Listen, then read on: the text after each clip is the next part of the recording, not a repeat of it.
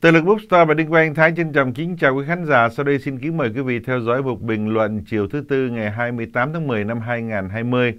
À, chúng tôi chọn cái chủ đề là lễ Halloween trong lúc vẫn còn đại dịch coronavirus. Thưa quý khán giả, tình hình đại dịch trong ngày hôm nay 28 tháng 10 à, tại bên Âu Châu rất đáng à, lo ngại, thậm chí nói là nghiêm trọng là đằng khác.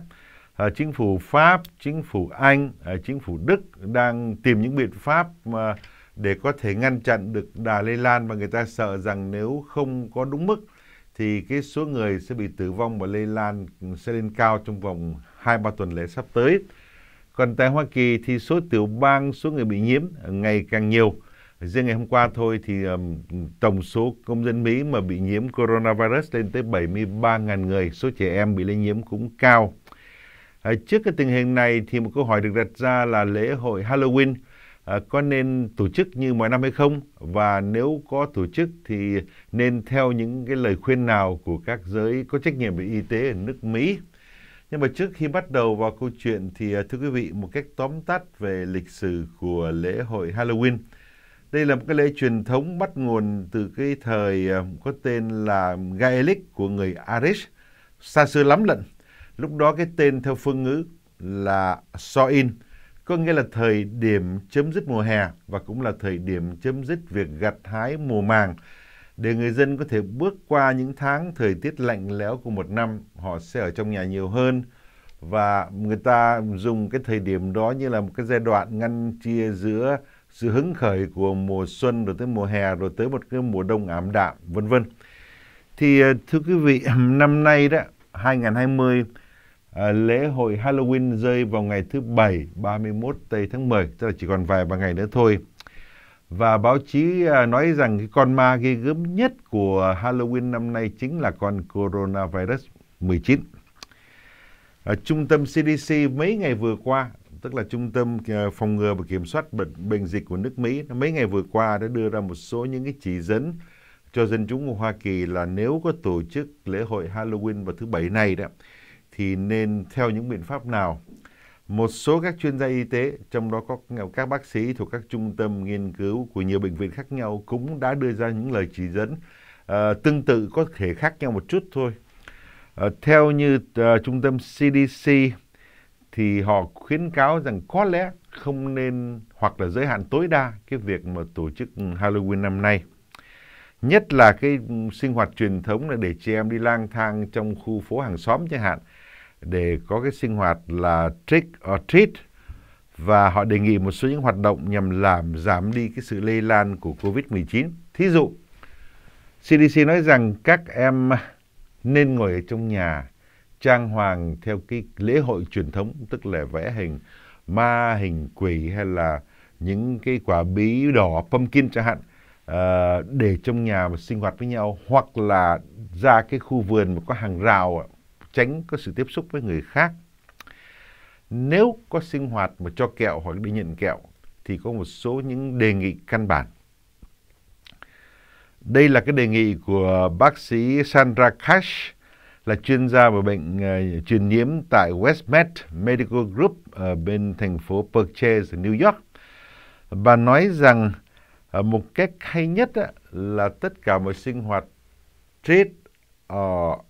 treat, trick or treat à, năm nay đó thì nên giới hạn tối đa cái số trẻ em đi cùng với nhau.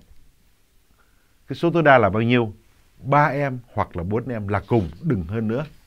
Bởi vì càng tập trung bao nhiêu đó thì cái nguy cơ bị lây lan càng cao bấy nhiêu. Ở ngoài ra thì um, bà cũng kêu gọi là các gia đình nên yêu cầu các em nếu mà có đi ra ngoài để tham dự cái sinh hoạt uh, trick or treat đó thì bắt buộc phải mang khẩu trang. Và bà khuyên là các bậc phụ huynh học phụ huynh á, nên lau các túi đựng kẹo mà mình chuẩn bị để cho trẻ con hàng xóm và để các cái túi đựng kẹo ra ngoài sân một vài ngày đã, trước tới ngày đêm 31 này. Bởi vì nếu trong trường hợp cái những túi kẹo đó mua từ các chợ về mà nó có bị nhiễm virus 19 thì với cái thời gian 2-3 ngày mà để ngoài nắng, để ngoài không khí thoáng đạt như vậy thì hy vọng rằng con virus nó sẽ biến mất. nhưng mà nên vào những website của CDC, vào những website của Johns Hopkins University, à, vào xem thử xem họ có những lời khuyên nào không đối với cái khu vực mình đang sống. Mình có thể log in vào cái um, area code của mình, tức là cái khu vực uh, bưu điện của mình đó, để mình biết được rằng cái nơi mình ở thì hiện nay cái mức độ lây lan của coronavirus ra sao. Nếu như cái mức độ lây lan trong cái khu mình ở mà họ báo động là màu đỏ đó, thì cách tốt nhất là cả người lớn đến trẻ em nên ở trong nhà, đừng đi ra ngoài đường. Và nếu mà đi ra khỏi nhà đó thì phải tránh những cái khu vực mà không đủ thoáng mát. Thí dụ, đừng có len lỏi vào những tòa nhà cao ốc bởi vì những khu đó không có những không gian thiên nhiên để có thể cho các trẻ em giữ được cái khoảng cách giãn cách xã hội. Và nhất quyết là phải nghiêm khắc với các trẻ con. Là nếu trong trường hợp mà các em đi ra ngoài tham dự lễ hội à, và cái sinh hoạt trick or treating đó, mà không theo đúng những cái lời yêu cầu của bố mẹ, bắt các em vào trong nhà lại. Và hay hơn nữa là nên có một người lớn ở trong nhà đi kèm theo các em chứ đừng có để các em đi một cách tự do như những năm trước. À, cái lời nhắn nhủ của CDC rằng cha mẹ đừng nghĩ rằng dùng cái loại khẩu trang mà vẽ những cái hình của mùa lễ Halloween, thí dụ như Spider-Man hoặc là Dracula chẳng hạn, mà có thể dùng những khẩu trang đó để thay thế cho cái loại khẩu trang y tế mà có thể ngăn ngừa được coronavirus. Bởi vì CDC nói rằng những cái loại khẩu trang mà vẽ hình Halloween đang bán ở ngoài tiệm nó hoàn toàn không có tác dụng để ngăn ngừa sự lây lan của dịch bệnh. Và trong trường hợp mà cẩn thận phải đeo hai loại khẩu trang, tức là bên trong là loại khẩu trang y tế và bên ngoài là khẩu trang Halloween ấy, thì phải cẩn thận một điều này là đeo một lúc hai lớp như thế có thể khiến cho các em khó thở và với những trẻ em nào mà bị bệnh hen suyễn ấy, thì có thể nguy hại đến sức khỏe của các em một cách nghiêm trọng. Lời khuyên là sao? CDC nói rằng cách tốt nhất là mình mua cái loại khẩu trang mà được quy định của các cơ quan y tế. Về nhà xong cha mẹ dùng những bút màu vẽ lên trên đó những hình ảnh của Halloween như là hình ma quỷ, hình ờ, Spider-Man, hình Dracula vân vân để cho các trẻ em mang những khẩu trang đi, đi ra đường. Thì thứ nhất là ngăn cản được cái sự lây lan của Covid-19. Cái thứ hai nữa vì chỉ có một lớp khẩu trang thôi cho nên các em sẽ không bị rơi vào hoàn cảnh bị khó thở, nhất là với những cái em bị hen suyễn. Những hoạt động ở ngoài trời, nếu mà bây giờ một gia đình chuẩn bị kẹo cho trẻ con hàng xóm thì nên chuẩn bị như thế nào? Lời khuyên rằng gia đình đó, người mà gói túi kẹo đó, phải rửa tay bằng xà bông 20 giây trước khi mà cầm túi kẹo đó bỏ ra bên ngoài. Và nếu mà trẻ em có mang kẹo về nhà đó, thì để nói các trẻ em là để ở bên ngoài trước rửa tay bằng xà bông rồi sau đó nếu có chạm vào những cái gói kẹo đó trở lại thì mới chạm vào. Và trong trường hợp những trẻ em nào mà có dấu hiệu bị đau bệnh, sổ mũi, nhức đầu, ho, uh, bị tiêu chảy chẳng hạn, hoặc là không ngửi thấy cái mùi vị của thức ăn, thì đó là những triệu chứng có thể đã bị nhiễm bệnh COVID-19 rồi, thì yêu cầu các em là tuyệt đối phải ở nhà, giữ cái sự cô lập y tế theo như quy định là 14 ngày. Và cái cách tốt nhất là trong mọi hoàn cảnh đều phải mang khẩu trang và giữ giãn cách xã hội. Điều này hơi khó. Bởi vì trẻ con 5-7 tuổi kéo nhau đi chơi đã thường thường bảo chúng nó là phải cách nhau 6 feet thì khó lắm lận. Nhưng mà bây giờ làm sao được bây giờ? À, cái cách cho kẹo nữa là để tránh tiếp xúc với các trẻ em thì ờ, đi ra ngoài các cái nơi mà họ buôn bán Ờ, những cái vật dụng ờ, bằng uh, giấy cứng tạo ra một cái ống giấy cứng dài vào khoảng 6 phút và thả các túi kẹo vào trong cái lỗ tròn của ống giấy cứng đó để cho các em hàng xóm đến xin kẹo. Nó sẽ nhận cái túi kẹo ở bên đầu bên kia của cái ống giấy cứng đó. Còn nếu mà để bàn ra bên ngoài đường để kẹo cho các em nhận á, thì nên chọn những cái bàn dài tới 6 phút và để trước cửa nhà. Đồng thời kẹo thì để một đầu bàn mà thôi chứ đừng có để sát nhau quá để các em lấy từng túi kẹo đó và tiếp tục đi qua nhà bên cạnh chứ không có cho cái sự tiếp xúc quá gần gũi đối với gia đình mình hoặc là những trẻ con trong gia đình mình. Ngoài ra, cái lời khuyên nói rằng hay nhất là chúng ta nên uh, tổ chức cái sinh hoạt Halloween này ở trong nhà chứ không phải ở ngoài đường qua hình thức Zoom. Đây là một cái uh, ngày lễ mà trong mùa đại dịch cho nên chúng ta đã có học sinh phải học ở nhà qua hệ thống internet, qua mạng lưới điện toán liên toàn cầu vân vân. Thì bây giờ tổ chức uh, tiệc Halloween hoặc là những sinh hoạt Halloween với bạn bè với với trẻ con trong nhà cách hay nhất vẫn dùng hệ thống Zoom để mỗi một gia đình ngồi trong nhà qua màn ảnh truyền hình, qua màn ảnh của computer có thể thấy được nhau và thấy được cái sinh hoạt của nhau chứ đừng có tiếp xúc nữa. Đó là dịch năm nay, năm 2020, mùa lễ Halloween. Chúng ta tìm về cái lịch sử của nước Mỹ là năm 1918 có một cái đại dịch mà sau này báo chí dùng là đại dịch uh, Spanish, tức là đại dịch Tây Ban Nha đó.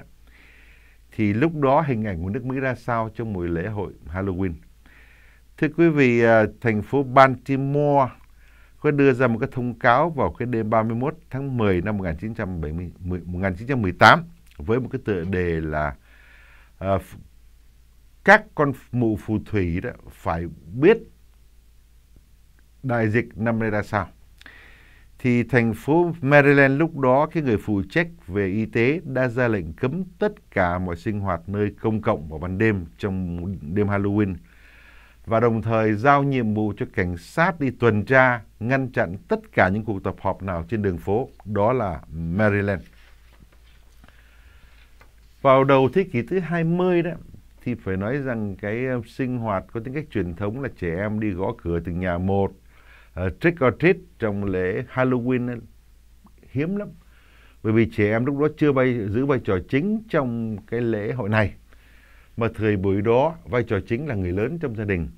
Cho nên người lớn mặc ờ, áo quần hóa trang và tham dự các buổi tiệc ờ, tổ chức ở trong nhà hoặc là dự những cái lễ hội tổ chức trên đường phố.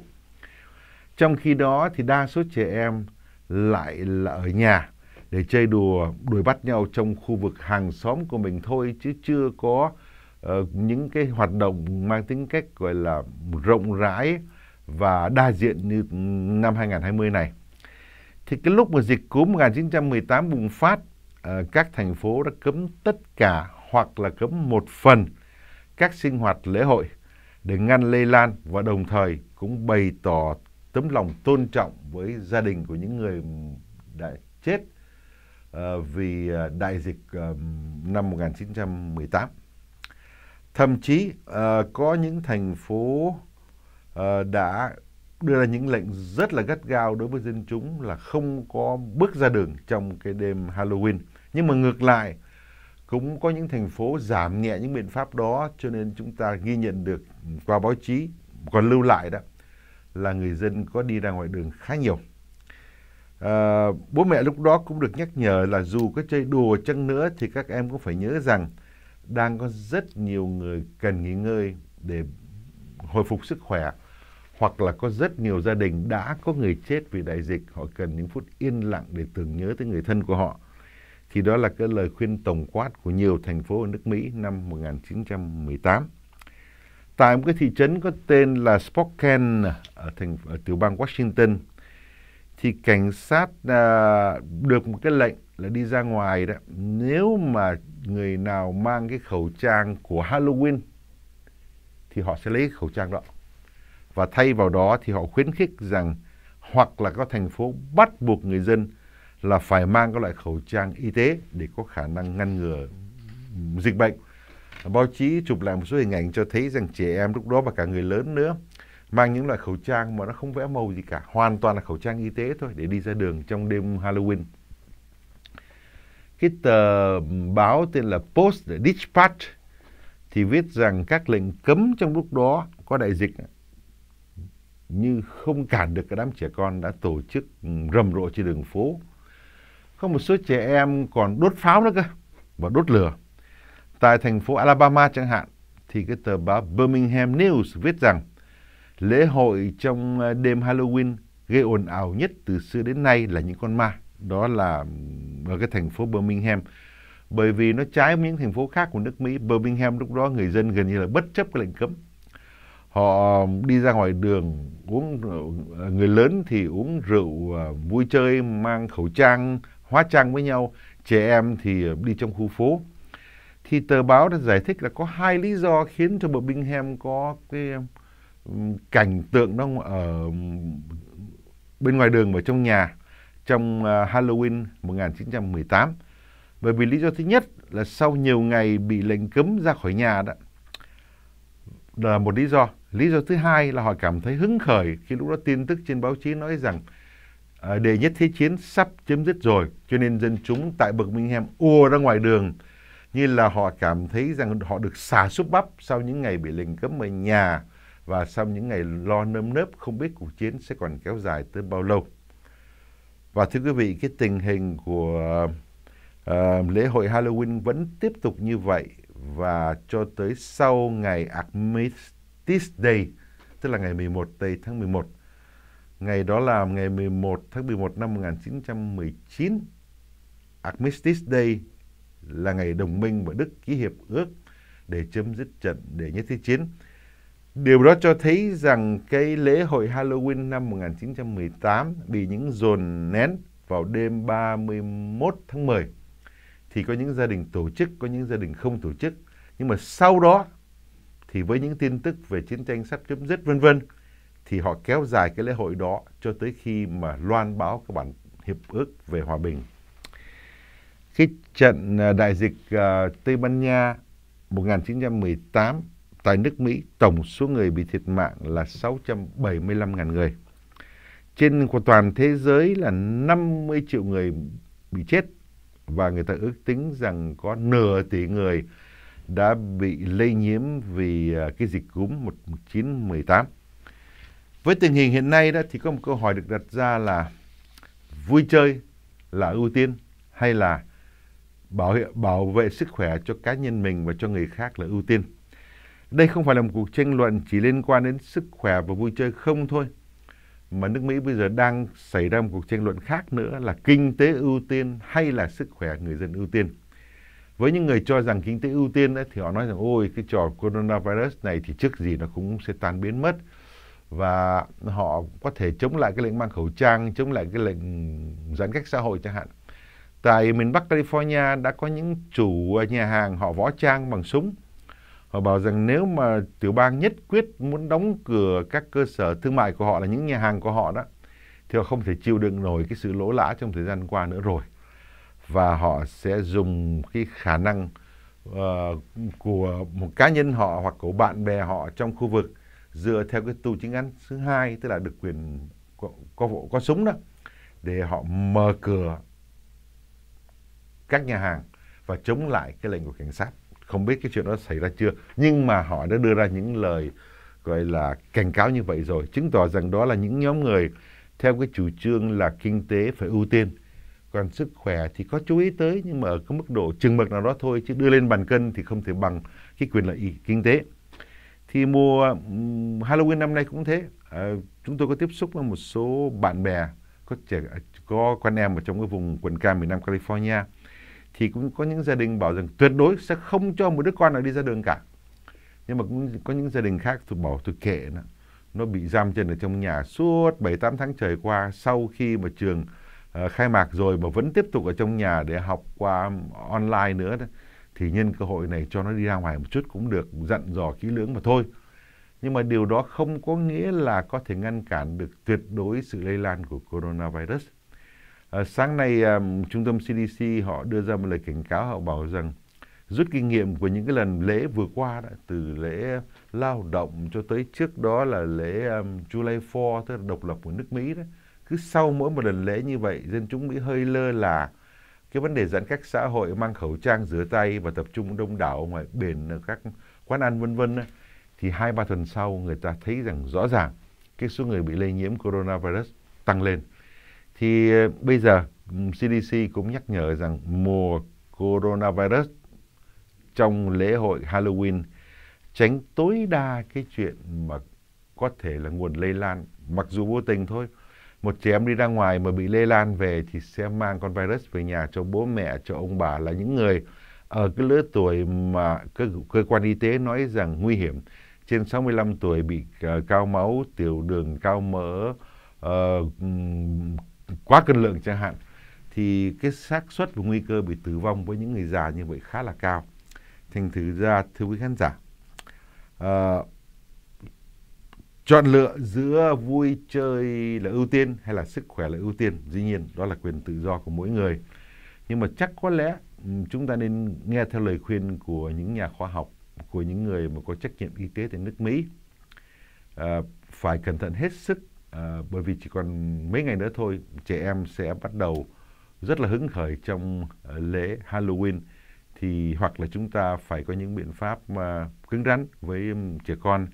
hay là phải có người lớn đi theo để mà ừ, nhắc nhở các em rằng tuân thủ tất cả những quy định của ừ, các cơ quan y tế còn nếu không thì ừ, đại dịch nó sẽ tiếp tục lây lan và không chừng uh, chúng ta không giữ được cho các con em chúng ta mà cũng không giữ được cho những con em mà có tiếp xúc với con em chúng ta. Chào tạm biệt quý khán giả và hẹn gặp lại trong mục điểm tin sáng ngày mai. Nhà sách Tự lực hân hạnh giới thiệu với quý độc giả tác phẩm Đi, Đọc và Viết, sáng tác mới nhất của nhà văn Phạm Xuân Đài. Phạm Xuân Đài viết không chỉ nhằm xuất bản một tác phẩm thuần túy tưởng tượng, mà là một cuộc hành trình khám phá chính bản thân mình qua các kinh nghiệm sống thực để rồi soi chiếu ngược lại tâm hồn mình. Đúng như tựa của cuốn sách là Đi, Đọc và Viết, Phạm Xuân Đài ghi lại những chuyến ngao du, ông quan sát, ông thu thập, rồi gạn lọc từng cảnh quan, từng sự kiện liên quan đến người và việc, rồi từ tốn dàn trải trên những trang giấy, như thể ông đang sống lại cảm giác của từng giây phút khi ông dừng lại các bến bờ vừa đặt chân tới, các vùng đất vừa bỏ lại sau lưng, để rồi rong ruổi đến một chặng nghỉ chân kế tiếp. Phạm Xuân Đài hơn 20 năm trước đã viết đoàn ký Chùa là cái thiện của làng, vẽ lên một quê hương Việt Nam tan rã. Người dân Việt Nam chỉ còn biết trông vào tính thiện của hồn thiêng sông núi để có chút uh, an tâm khi nghĩ đến tương lai. Nay thì Phạm Xuân Đài viết đi, đọc và viết để tìm cái riêng của bản thân mình và đồng thời cũng là cái chung của rất nhiều người. Tác phẩm Đi, Đọc và Viết của Phạm Xuân Đài hiện đang bán tại nhà sách Tự Lực, địa chỉ là 14318 Brookhurst Street, thành phố Garden Grove, từ bang California 92843. Điện thoại miễn phí là 1888 204 7749 1888 204 7749 và số điện thoại để độc giả gọi trực tiếp vào từ lực Bookstore là 714 676 8310 714 676 8310. Quý độc giả ở xa muốn mua sách, xin vào trang mạng của nhà sách Tự lực là www.tự lực.com. Nhà sách Tự lực hân hạnh giới thiệu với quý độc giả tuyển tập nhạc Việt Nam. Đây là công trình sưu tầm của Lê Hân do nhà xuất bản Nhân ảnh phát hành. Tuyển tập nhạc Việt Nam gồm 4 tập, bao gồm hầu như không sót một bài nhạc nào của Việt Nam, từ thời tiền chiến cho tới thời cận đại.